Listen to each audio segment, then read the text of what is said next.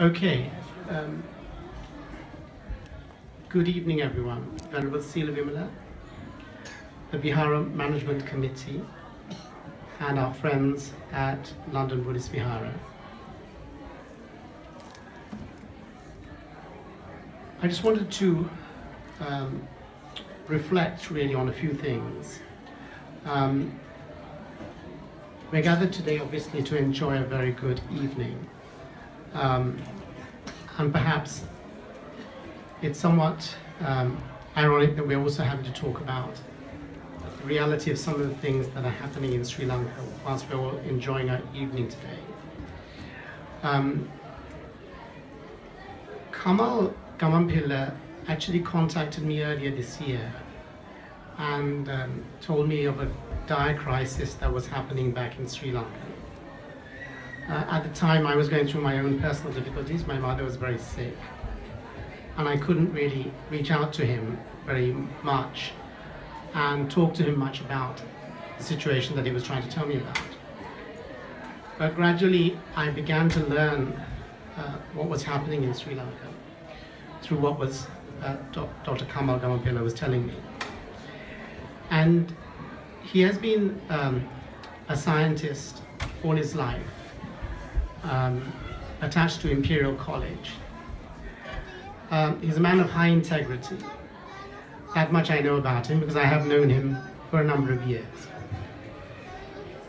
He has been investigating um, the, the chronic kidney disease in Sri Lanka for a number of years.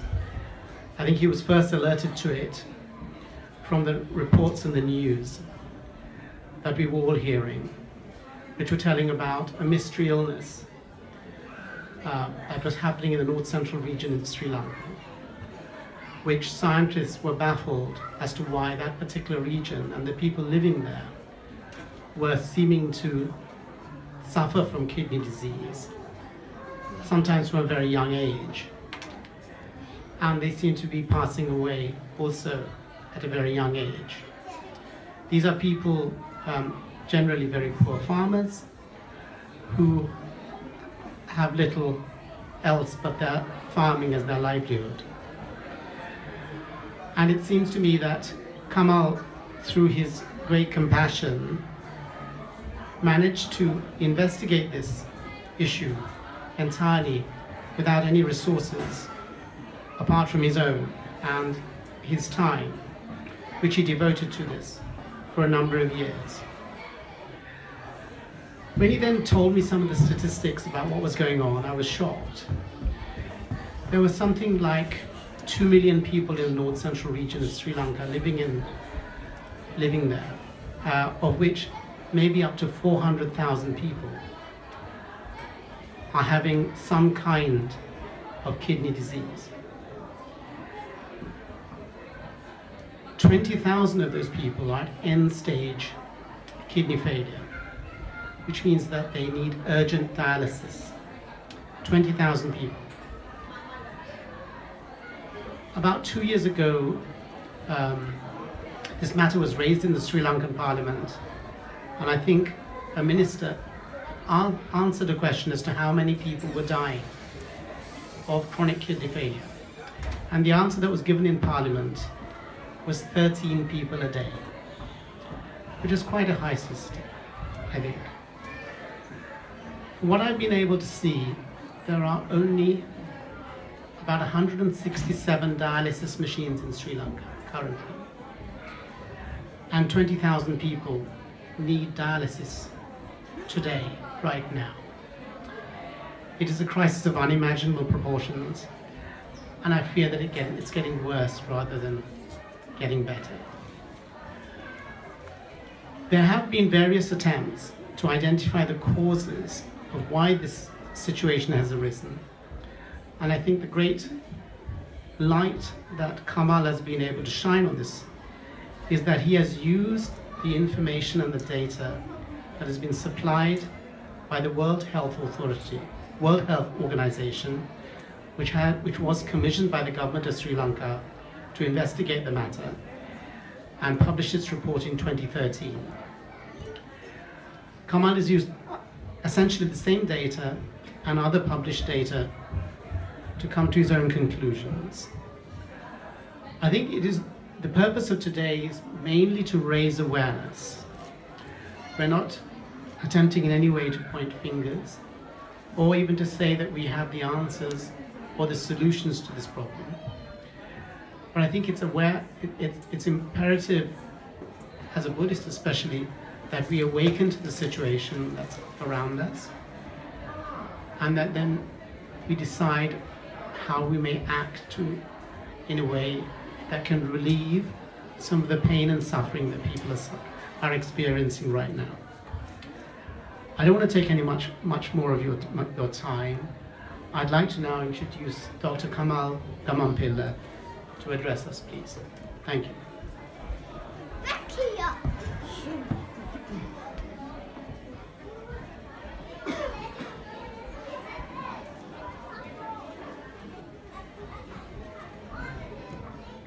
Swami Mansa, Avasarai. Um, good evening, everyone. Um, good evening indeed. Um, as Amal said, I'm going to talk about the chronic kidney disease in north central region of Sri Lanka. Um, this condition was identified in, I believe, 1992. It's more than 25 years hence. Still, we didn't know what the cause is. Only thing we know is this is not the normal type of kidney failure.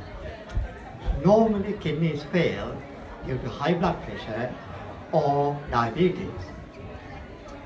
Uh, kidney failure in North Central region is independent of that. In the absence of high blood pressure and in the absence of uh, diabetes, it is quite likely some people are suffering from high blood pressure, uh, uh, diabetes, as well as chronic kidney failure at the same time, meaning from the same cause as it were. Uh, today, uh, well, last April, I should say, uh, nephrologist in Kandy told me that there were 20,000 people with end-stage kidney failure requiring dialysis and uh, that is in a population about 2 million. Uh, when the uh, Sri Lankan government and the WHO did a joint study, they showed that the average age of a kidney patient was 39.1 years. And without proper dialysis or without dialysis, they will die within about two, three, four years. So their life uh, end of life would be below 45. And um, it is considered in general that is, this is uh, amongst the farming communities. Many people, our scientists, uh, have been claiming that it was the farmers, because of their work uh, and their practices, that they are falling ill, kind of occupational condition. Uh, I don't think that's correct at all. It is just a sheer coincidence that these people happen to be farmers and rural communities. I'll try to explain myself as I go along. And uh, in general, this condition is associated with the reservoirs uh, uh, uh and the, we call them valves, uh, reservoirs and the tanks, uh, which we have maybe thousands of those in that region. In fact, we have been having this uh, tank system for irrigation over a thousand years ago, meaning it was started over a thousand years ago. And only thing though, within the last 30, 40, 50 years, the systems were revamped, all the uh, canal systems were interlinked and uh, updated so that the water from a different region of the country could be used for uh, irrigation, power production, and uh, uh, in these areas, mainly for irrigation, that is where the problem is. It is the irrigation water coming from a different region that is causing the problem. Uh, right, before I move on, the those bar graphs show, by the way, there are normally five stages of kidney failure. But in the Sri Lankan setting, also WHO GSL report, they have been talking about four stages, meaning stages five and four being put together. That's okay, that's no issue. But there are, uh, say, four stages. Four being the end stage, that's about 20,000 people. I believe it's little more than that now. And the stages one, two, and three, we got more people in stage one.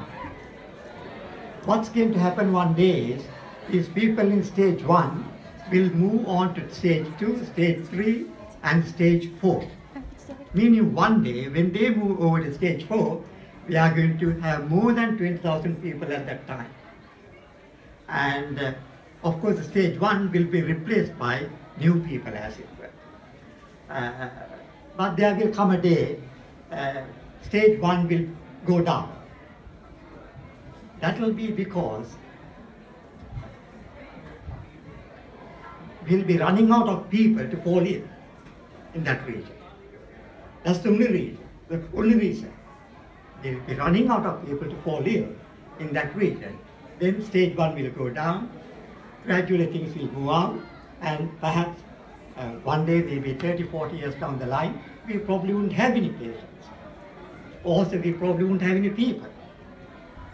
If we carry on like this, we will end up doing that in about 25, uh, sorry, 15 to 20 years. I estimate more than half a million people will be dead. At least they will have end-stage kidney failure unless we provide dialysis uh, in the long term. At the moment, there's hardly any dialysis. Uh,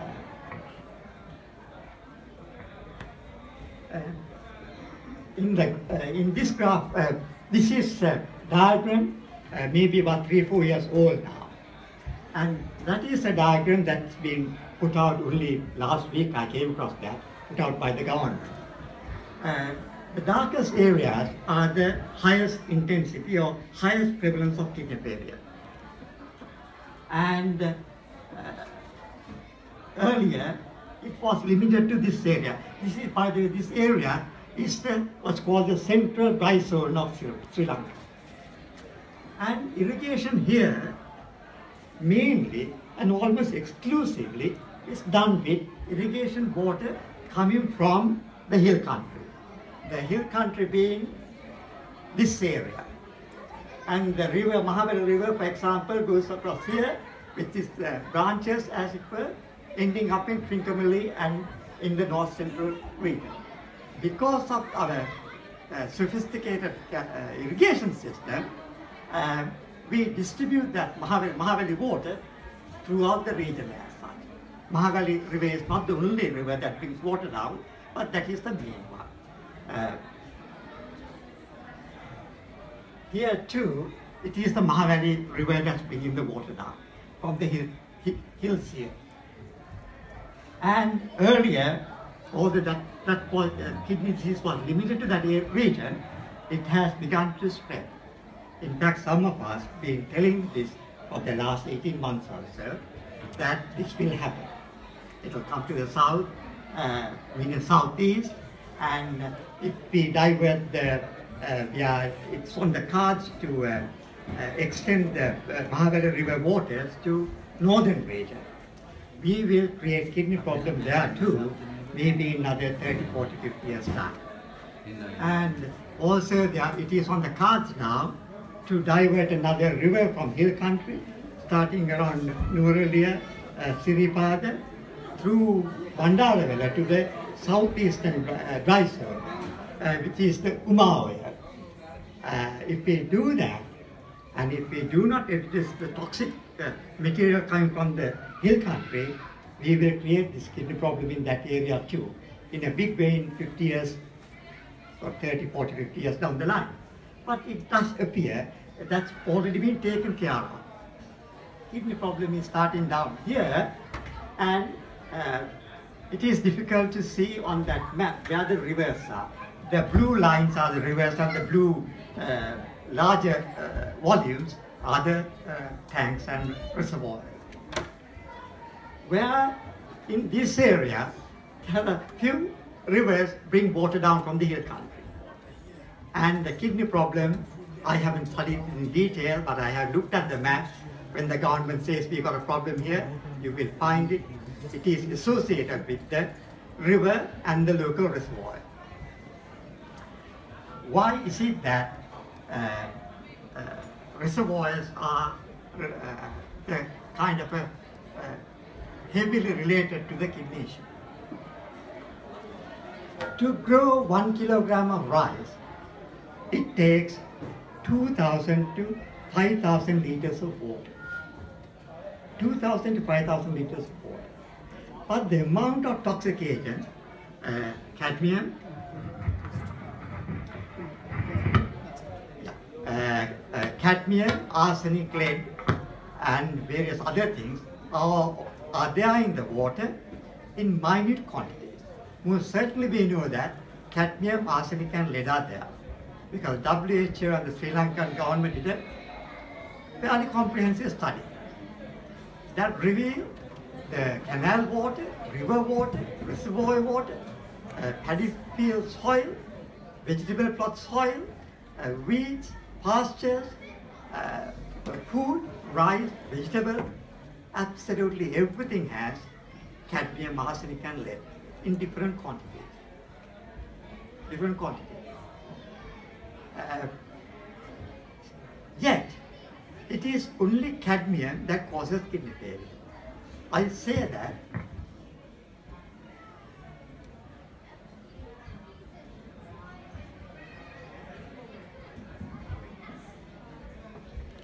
I say that because cadmium is the only agent most extensively, extensively studied by the WHO and the FAO. They are the agents of the UN on food safety. And there is a committee called the Joint Expert Committee on Food Additives. Food additives doesn't mean that it's only processed food, but uh, uh, environmentally related uh, toxin too is covered by the same program. So irrespective of the origin, if it is there in the food, they have been studying. Uh, arsenic and lead. Uh, arsenic causes uh, what's called hyperpigmentation. The skin of your palm, for example, or the sole of your foot become either extremely dark or light, hyper or hyperpigmentation. And also arsenic may cause uh, bladder cancer. When it comes to lead, lead is mainly associated with neurological issues. But having said that, there is a study from America that came out, say, two, three years ago, studying over 11,000 people, which indicates lead 2 may cause kidney failure. Also, with the cadmium is present, they might jointly cause kidney failure. But insofar as the UN is concerned, for cadmium exposure, there is only one health condition, meaning for almost all the, uh, I can't say all, to very many toxic agents, there is a critical or what's called a key factor for health assessment.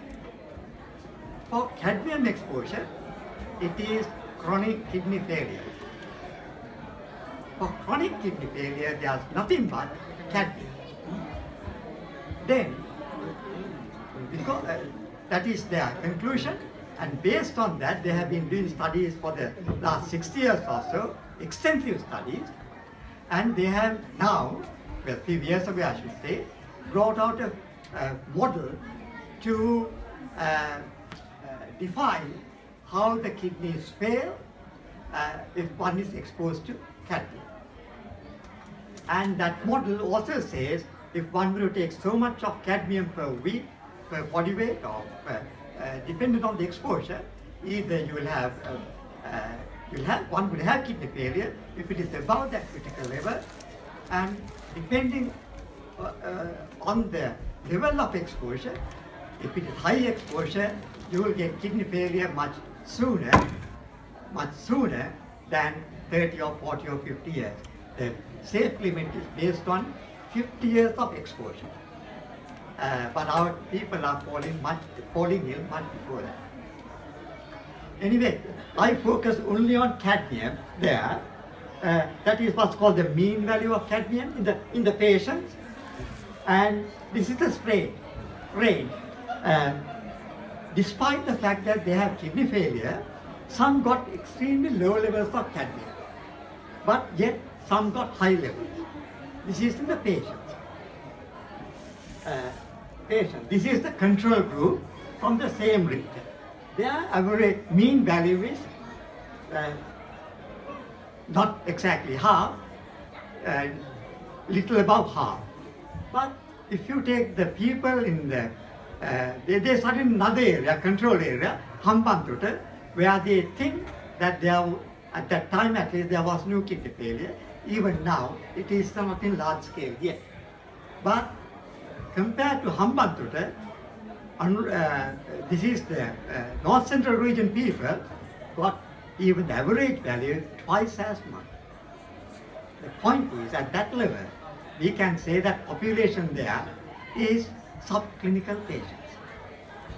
They will fall ill one day.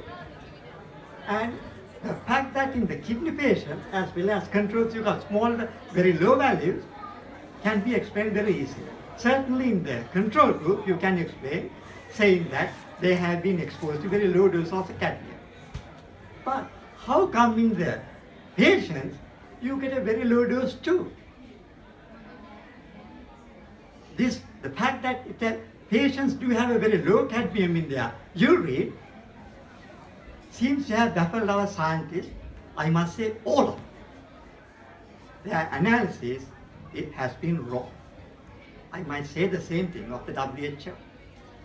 They made a big mistake in their analysis. They missed out on a very simple fact.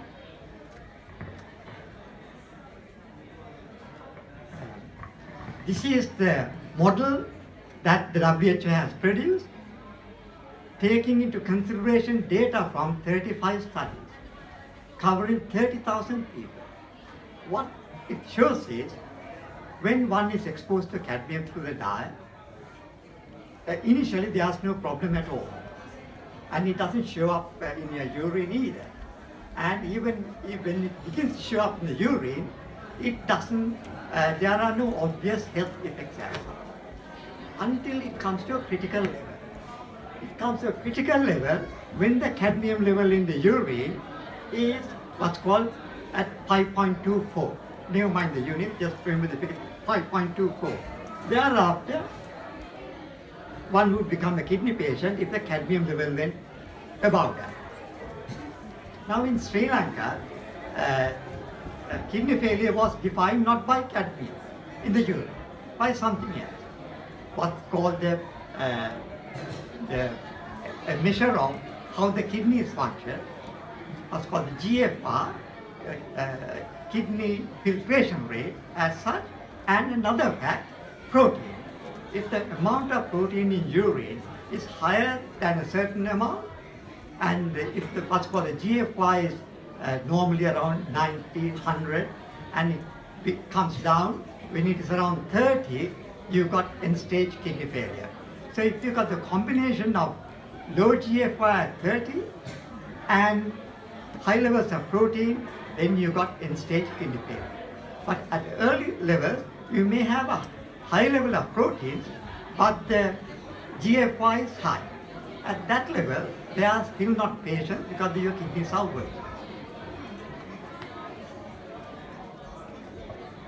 Now, this is the model I use to explain as to what happens to your kidneys and how uh, one could have avoided making a mistake simply by uh, studying this uh, say a when a child is born, normally, in, say in the Western countries, they are free of cadmium in their body. But uh, in Sri Lanka, uh, they will have cadmium in their body coming from the mother's blood. Smaller amount, but they'll be born with cadmium in the body. In NCI, uh, pretty much guaranteed. But until they are about 15, 20, they are not in the science there are no signs. Then they may fall ill. Previously I said our average age is 39.1. But 25%, sorry, 16% of the people are below the age of 25. These are kidney patients. Kidney patients below the age of 25. And uh, that's a major tragedy, major tragedy. Anyway, so as I said, from the, childhood, you get exposed. If a child is given the uh, locally grown food, they will become exposed. But they will not show any sign till they are in, in later life. What happens is until the disease what's called the cadmium, amount of cadmium in the urine, simply being exposed, that is time as it were. Say one was born there, say around 20, 25 years, your amount of cadmium in the urine begins to go up. When it comes to a certain level up here, that's the point at which they fall ill. Now, previously I said, now the critical level to fall ill is 5.24. That is the value given by the WHO. Uh, that is that point 5.24. Now, if you look at the, these are the, uh, we mustn't worry too much about the kidney patients. If you think about the kidney patients, you will make a big mistake. Thing to do is to look at the control group. The control group uh, starting at a very low value, then goes up to maximum of 5.13.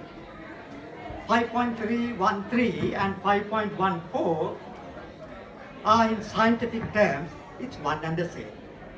One and the same.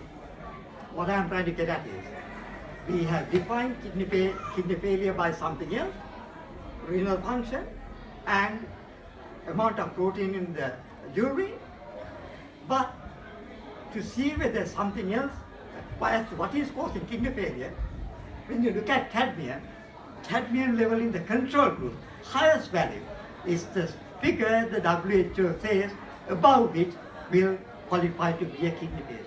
That is exactly that has happened in NCR. So there's no argument. It is cadmium that is causing kidney failure. But if it wasn't cadmium, if there was something much stronger, then they would have fallen, become kidney patients around here, around here, below that point. But that didn't happen. So there's nothing stronger than cadmium to cause kidney failure in that way. But say there is something else, something weaker, that might cause kidney failure at the same time. Cadmium has something, uh, as something else as well. From this data, it, I can't say whether there is something else. So let's forget that. At least we know the dominant cause for kidney failure is cadmium. Now, once a patient becomes a kidney patient, the cadmium level goes up and comes to a, at this end stage, near the end stage, then it begins to come down. It comes down because once you are a kidney, uh, when your kidneys don't work, there's hardly any urine. So these figures are, uh, uh, that's why the cadmium levels come, comes, uh, would come down. That is why in our in our uh, analysis, they found very low values in the kidney patients too. Now, if one were to use that for statistical analysis, you will get the wrong answer. That happened to all our scientists And it happened to WHO. And this is why we haven't as yet figured out what's causing kidney. But I don't think that's the only reason. But certainly our scientists weren't prepared for something like this, some entirely new thing. I'm not finding fault with the scientists, but what they should do now is, now that they know where things went wrong, please look at their data and analyze again. And they will conclude that it is cadmium. I've been telling the government of Sri Lanka to do this. It is yet to happen.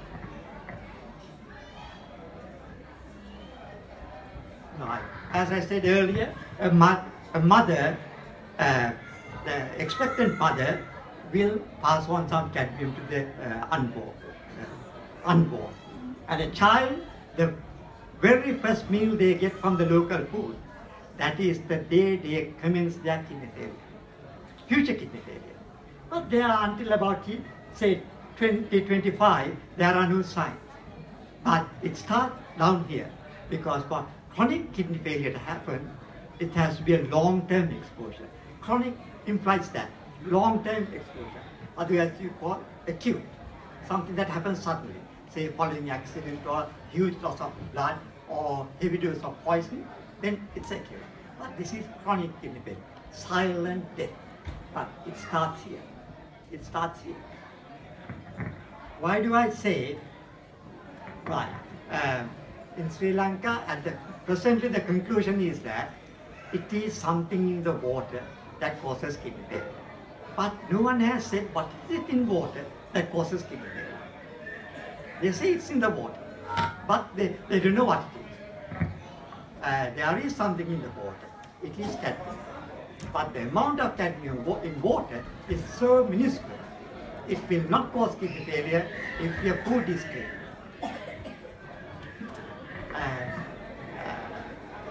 I calculate the, uh, what's called the dietary dose. In our Sri Lankan studies, our scientists as well as the WHO, they focus only on the amount of cadmium in various types of food and say, oh, it's okay, you eat it, there's only little, oh, avoid those, they got high cadmium. That's all wrong. To work out the amount, the dosage you get, you must look at the amount of toxicity in certain type of food and multiply that by the amount of food you consume. It's like whiskey or alcohol. You know, you drink a small quantity of uh, whiskey because it has, it has more alcohol. Whereas beer you drink a larger volume because it has lower quantity. The same principle applies here. But what you need to do is to you do the calculations for all the food items and add them up. An average over a month, either over a month period or one week, uh, one week. And uh, what's called the 2.52 is the critical safe level. This uh, cadmium data I got from the WHO report. Data is already available. It's not in the publication that you hand out, but if you go to the website and visit the uh, um, publisher's uh, uh, original uh, if you visit the publisher's uh, website and uh, look at the original submission, then you get this data in that uh, document. And about the food quantities we consume, in Sri Lanka, they got all the figures for every region. How much rice we eat, how much aubergine we eat, how much lentil we eat, we eat, and also within the region, for some critical things such as rice, uh, they would have three categories, urban, rural, and estate. Based on those figures, I calculated the uh, cadmium dose. From rice alone, 50% of the dose come from rice, and from water, less than 7%, 8%.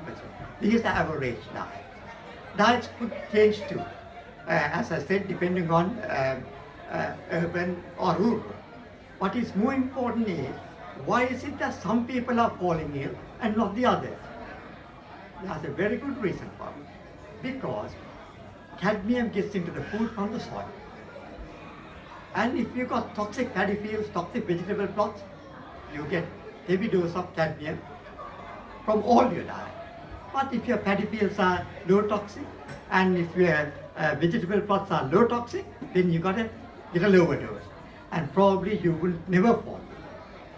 I haven't shown that here. Uh, it would be, say, at that level as it were. So the rural people with high toxic uh, uh, soil, that is the sum total cadmium. This is from rice only and various other things, uh, jams, vegetables, and whatever. Same thing here. Uh, urban people are at the moment, it looks like they are just bordering on the safety line. How come if they are eating the same food, they are not getting uh, uh, toxic doses? That is because they buy their food in the marketplace.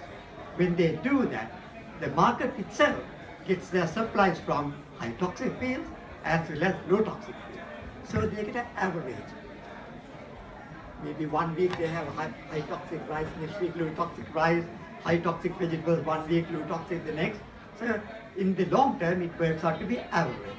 And their toxic doses not quite sufficient to cause kidney failure as in the rural people.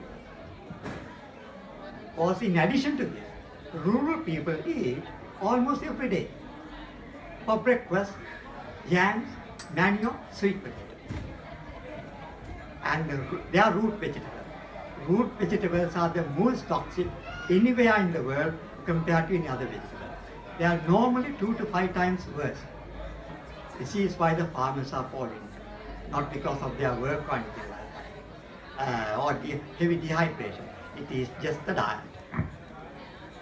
Um, I think I said it all, you see.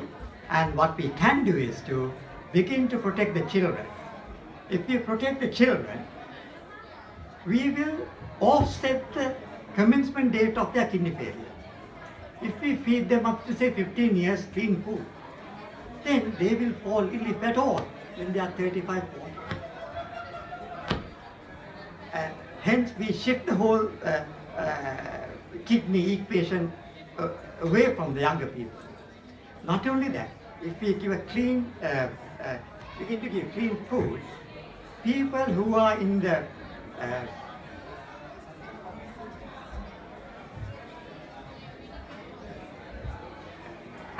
these people will become free of the condition and they will never become patient ever. So immediately we take this load off. Not only that, we save people. Now the, at the moment, this number is about 150,000 to 200,000. So we immediately take them off so that we take a dialysis burden, future dialysis burden away. Not only that, these people will qualify for kidney donation, say two years down the line maybe. As it is, people should not take kidneys from the other people in the same area because it is most likely the donor will compromise his own health. Right, I think uh, I said enough. If, you, uh, if there are any questions, please do ask. Uh, thank you very much, Kamal. Um, certainly, you've given us a very comprehensive uh, analysis today. I've got, I've got a couple of questions, if I can ask. So, in um, in a in a country like UK, the options, I guess, for someone with chronic kidney failure, or at least if it was detected earlier, even Yeah. the options could be um, dialysis or even a transplant. Yeah. Yeah. Yeah. What have what, what are, those options available for people in Sri Lanka? Oh, Sri Lanka. Well, even in UK, there are two types of dialysis. One is called hemodialysis, where you take the blood out of the body as it were, send through a kidney, artificial kidney, and put it back, clean the blood. Ideally, you need to do that, say, once in about three days. And there's another type called peritoneal dialysis, where you make a little hole in the uh, abdomen, and there's a cavity behind the outer tissue as such. Uh, in that in that cavity, you pass the uh, chemical chemically, leave it there for a while, maybe half an hour or two hours or whatever. That uh, solution will pick up some toxin, and you empty the, throw away that fluid, and refill. And those who have peritoneal dialysis must have dialysis more regularly, maybe every day. The peritoneal dialysis has one or two weaknesses. It, it can cause infections very easily. Other thing is it tends to lose proteins. So it is not really ideal for our local people. But from finance point of view, that may be a way forward. But ideally we should fluctuate between the two. I, in Sri Lanka, um, uh, Tilak Abeysekara, nephrologist in Kandy, said to me, they give dialysis uh, once in seven days if one is waiting for a transplant, otherwise once in 10 days. I just can't believe how these people could perform such magic when the whole country has less than 200 kidneys. if we are to give dialysis once in five days, we need to have 4,000 dialysis sessions per day, every day of the week. How people claim, you know, we give dialysis once in two days, two times a week. Well, I think we need to take that with an enormous uh, pinch of salt. Uh, so it, it, it, things are pretty bad uh, for those people. Thank you. Are there any other people who would like to ask some questions? How can we convince our? Just one second. How can we convince our people to go uh, away from their staple diet? Who can convince our people to say they must eat good food? Where can you get the good food? Oh, that's that's very easy. Uh, if we can convince the politicians to take their stand. I don't know whether you saw last year, about this time last year, in November, there was a TV program here called Rice. And it was presented by one professor, Anthony Meharg, from uh, Queen's Belfast. He's a world authority on this subject. And in fact, in 2013, he published a report covering Sri Lanka too. He studied 11 countries and Sri Lanka came second worst for cadmium. And his cadmium figures are more than two and a half times higher than uh, higher than what the WHO report found. The point is, Sri Lanka, no one takes the blindest bit of notice of that publication. If the government were to take notice of that, if they took notice of that, they would have acted properly and we could have managed things better. Now you ask, uh, how about the food? The thing is, if the food is highly toxic, very high levels of cadmium, perhaps keep it out. Say rice. Today, people are using rice to make beer, in, even in Sri Lanka. Use it for that purpose. Another thing is, you can blend toxic rice and clean rice so that the average toxic level comes down. And also there are simple other facts, other measures we can take. In the rice, much of the cadmium is on the outer skin acid. What you need to do is to eat polished rice. I don't know how much it will bring it down, but certainly it will bring it down. It was good enough Anthony Meharg, good enough for me, good enough for me, and we should look into those things. Another one is, Anthony Meharg said, cook rice in excess water. Throw away the excess water. You will reduce the toxic. Our government is yet to say those things which cost not a penny. Which cost not a penny. And uh, we really should do that. I hope in the new year uh, we'll be able to uh, uh, make a difference. I must say there are quite a few people, Lalit, Amal, they are supporting this activity. There are very people who say it is cadmium. Uh, but I am prepared to say to anyone, I have told many, many people too, and they really should uh, open their eyes and uh, begin to address this issue. And but can I say one more thing? Another thing, uh, we can abandon paddy. China is doing that, but we don't have to. As I said, we blend the food so that the people, farmers have an income. Their land value is intact. Another thing is, in h- extremely high toxic uh, fields, don't grow edible food. But yet, some edible food you can grow. Say sugarcane. If you grow sugarcane, sugarcane will have cadmium. Absolutely no doubt at all. But the point is, when the sugar sugarcane, the, the liquor is turned into crystals, automatically that process tends to purify the crystals, even if it doesn't happen automatically. But you are in charge of a huge volume of liquid. We can find a way. So there are things we could do. Because we don't understand the property, because in absolute fear, we have turned our eyes off completely. It's time we woke up. It's time we woke up. Dr. Gammampila, uh, we're very grateful to you yet again for bringing this to our attention. You spoke uh, about a week ago to a, a group of Sri Lankan lawyers and others at, at the 11th tsunami reception. And what you um, explained to us is that Sri Lanka is experiencing, in legal terms, uh, a human rights crisis. In legal terms, an environmental crisis. Because what you have, I think, explained is this in a nutshell.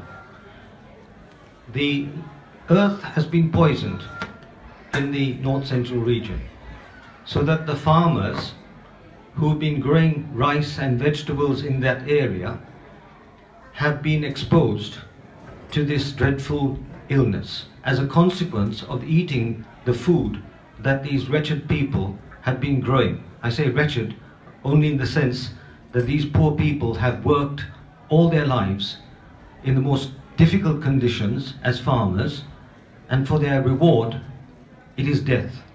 You say 20,000 people are now on death's row. Now that to me and others is a absolute catastrophe. It is a human rights crisis. But it's a crisis that no one has heard about.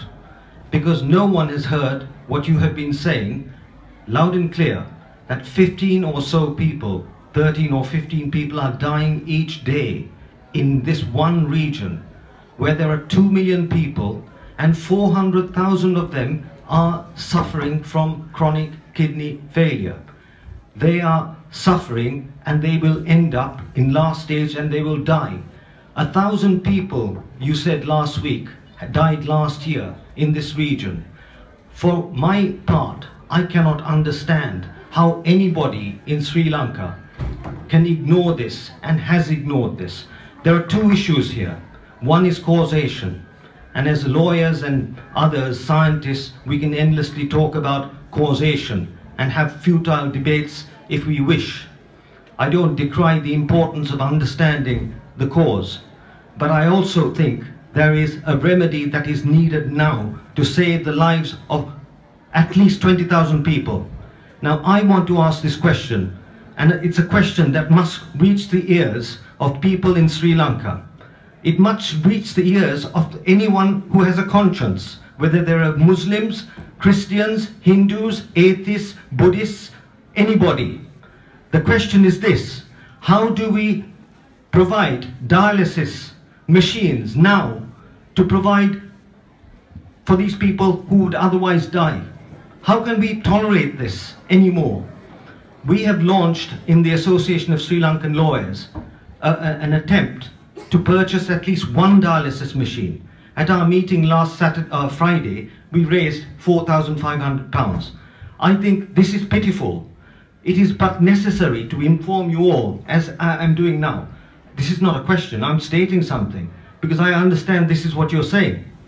And I think we must bring this to the attention of the international a- agencies, those who have the resources. But the Sri Lankan government has resources. What are they doing about this issue? How can they let their own people die in this fashion? I've heard also that in this region, and this is my last point, I've understood that doctors are no longer even conducting, I'm, I'm talking about uh, pathologists, are not even conducting postmortems. And they're being asked to say that people are dying of natural causes. This is a scandal.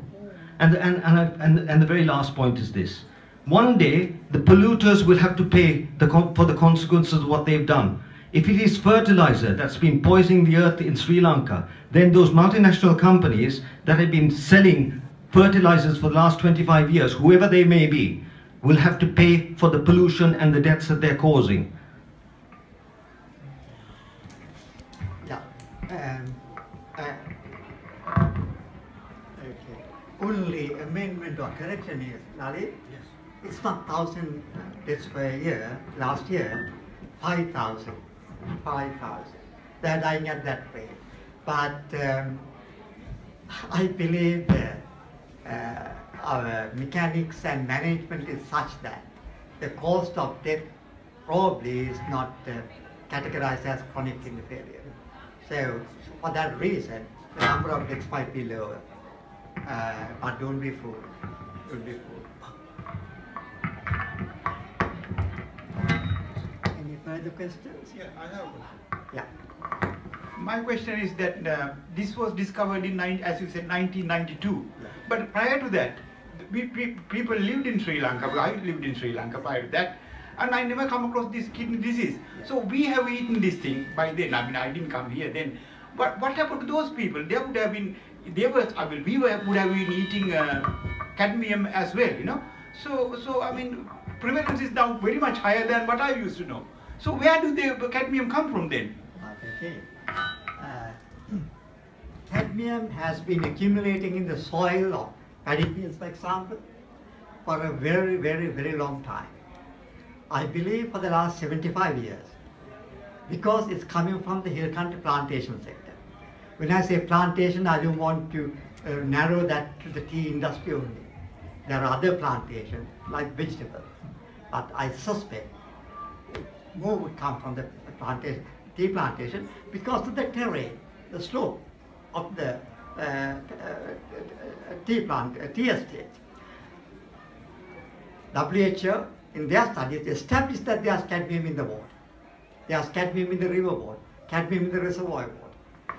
Another un very unfortunate practice we've been having in Sri Lanka is whenever they clean the reservoirs to regain the volume, because the reservoirs get filled with the silt coming from hill country again, then they have been dumping the silt on the embankment.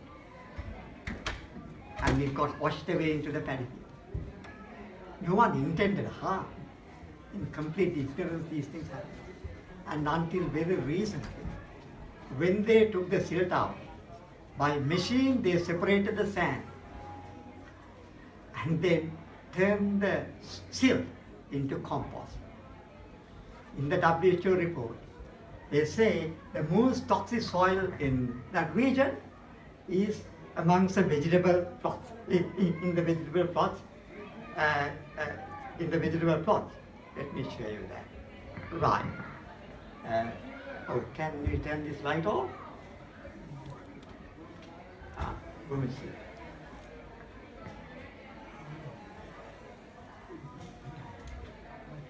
Right, okay. Uh, these are the various soils uh, from that's the north central region. This is the non-endemic, meaning Hambantota area, the control area. Toxic soil is in the home garden vegetable plot. 3.48. Here in the Hambantota area, 2.4, uh, sorry, uh, 0.47. Seven times as high. And that's, that's an extremely high value. How come? because they've been using compost from the reservoir. I haven't got the proof, uh, meaning I haven't witnessed or whatever. I think any reasonable minded person might say that's where the issue is. And another thing, in that region, uh, I'm told privately by the WHO people, for example, that people do have two vegetable plots. One with uh, where they use fertilizer, that is for sale, and in their, for their own consumption, they don't use fertilizer, but compost. Unwittingly, they've been poisoning themselves because uh, anything grown in that type of soil will be toxic. And another uh, answer to the question, one of the questions you asked, today, based on the soil paddy field uh, cadmium levels, that much of cadmium sounds extremely small. To grow a kilogram of rice, it takes about two square yards of area. And the paddy plant root depth is 14 inches. So what I did was, I calculated the volume of soil that goes to produce one kilogram of rice. And based on that figure, it's no one else's WHO, Sri Lankan government figures. You get 16,000 times more cadmium in the soil than what comes out in the rice. At that level, I don't think there's any escape. Whatever you grow in that soil will be toxic. I proposed experiment for this. 18 months ago, nearly, well, nearly two years ago now. They never did those studies. I said, take the toxic soil, mix with clean soil, maybe 500,000 times, then grow rice and see at what level the rice becomes cleaner. From that, we could say we need to maintain the soil level at below that. To, to this date, that hasn't happened. So there are multiple reasons why we have failed. I think the primary reason is we haven't done a thing. That's what it is. We say it is CKDU, unknown cause. And they say unknown agent in water causes kidney failure. How do they know there's unknown agent if they don't know what the agent is? You know. And unfortunately, we have spent a lot of money giving clean water. Giving clean water is a fantastic thing. That is a legal requirement since 2014 under the UN. When the UN was formed in 48 or 49, 48 I think, it was a requirement. But they made it legal since 2014. Giving clean water is fantastic. But to claim that we are going to prevent kidney failure, that's all, uh, all wrong, all wrong. And it, it won't happen. Simple as that. Uh, uh, there's hardly anything in water to cause kidney failure and if the food is good. If the food is toxic too, still it is less than 10% dosage you get from uh, uh, drinking water.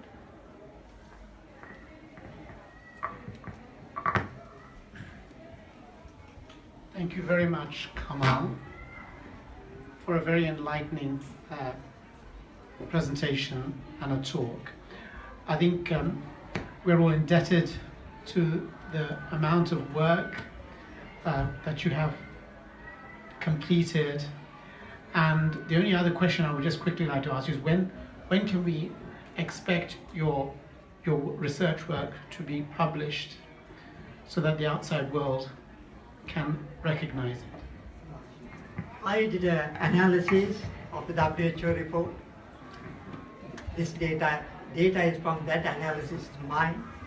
Uh, as I said earlier, the GOSL WHO report only looked at the toxic level. They didn't work out the dosage. It's pathetic. When I'm being able to use the same data and come to this conclusion, why didn't they do that? Why aren't they doing it now? This data is not sufficient. I must say it must be, we need a little more data. Uh, we need a little more data. But to say it is cadmium, it is there. Now begin to look at it. To confirm it, it will take a month. It will take a month. Uh, if the government is not going to do it, uh, we have asked for the WHO data. It is not WHO, it is Sri Lankan government too. We are yet to get it. Uh, if we don't get it, uh, we will have to find a way to do uh, soil and food analysis and uh, publish data. So what I did was with my analysis, I used that to communicate to the government and the WHO. There's something wrong. Here's the answer. Please look at it again. If I were to publish the work, it's not going to show the WHO in a good light. It's not going to show any of our scientists in a good light. They have made mistake after mistake. And for the WHO, the body that is responsible for our welfare from, uh, uh, from toxic exposure, they were unable to look at cadmium. And when they themselves say cadmium is the uh, uh, uh, agent to cause chronic kidney failure, uh, it is uh, uh, beyond belief. Beyond belief. Thank you um, for, as we have said before, a very enlightening talk.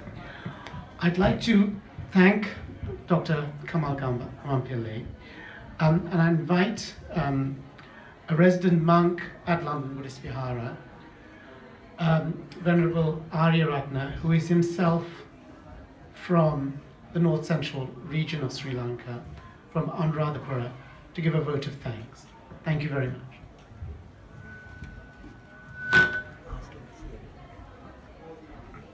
Good evening and thank you very much, Amal. Amal Abeyawardene, a very enthusiastic activist in our community for inviting me to give the word of thanks to uh, all of you. Uh, it's as Amal very clearly said and thanked Dr. Kamal Gammampila, with a very enlightening and heart-touching and very felt talk in this uh, evening in the London Buddhist Vihara.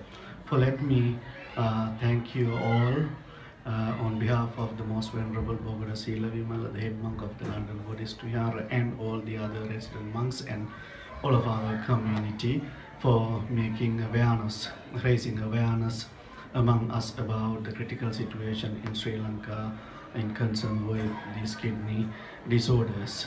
For I think I have right to stand here from a person born and bred and from that particular area from Sri Lanka, the North Central Province. I live in the heart of North Central Province where this problem is highly existed and experienced. For example, in our, the teaching hospital in Anuradhapura has thousands of beds and on one bed basically two patients lie uh, day and night ev- mm, and every day most of the time but they are mostly transferred to Kandy and Kalam constantly. Yet the government and the officers or the doctors can't meet the requirements of it is to me personally uh, uh, this time when I was in Sri Lanka three months ago only my youngest uh, student monk who had a problem uh, pain in his uh, stomach and I referred him to Dambulla hospital and only then I got to know that he too has kidney problem so he is under medication nowadays. So this is critical. Even a 16 year old boy uh, is suffering from this disease which is spoken now. And unfortunately the dialysis machines available in our area is not enough. And even though we have one and only one in Anuradhapura teaching hospital is not uh, well established and it is not functioning. So doctors find it very hard to treat the patients and poor patients from very far and uh, near areas from like uh, 20 30 miles away from the uh, hospital come daily to get dialysis but they uh, go uh, home back uh, with uh, devastated hearts. I mean you the dissatisfaction because they can't get their medic- medication and dialysis properly. So this problem prevails. So i would suggest before i wind up my vote of thanks please get together raise awareness in the communities here and there and raise uh, sort of uh, fund schemes and please buy sort of machines to donate the country and look after the needy and look after the patient's needs and then educate them uh, before they uh, come to the level of this uh, highly what do you call these risk area, uh, levels of their uh, illnesses. So it is up to everyone else as uh, one of our colleagues uh, clearly mentioned a few minutes ago that to get together and do something against this chron- chronic and uh, what do you call this uh, tragic uh, disease as a nation, as a country, as a whole uh, uh, universe, uh, the community. So uh, thank you very much, Dr. Kamal Gammampila, coming all the way from to the London Buddhist Vihara with our invitation and giving such an enlightening talk in this evening. And thank you everyone else for coming and listening to him and sharing this experience and carrying this message to the world and have a nice uh, weekend and enjoy yourselves and today here and now and may you be able to uh, attain the supreme bliss of nibbana and enjoy yourselves here and hereafter in the tour of sansara by dint of all these meritorious deeds you being performed this afternoon or the evening. Thank you very much everyone else again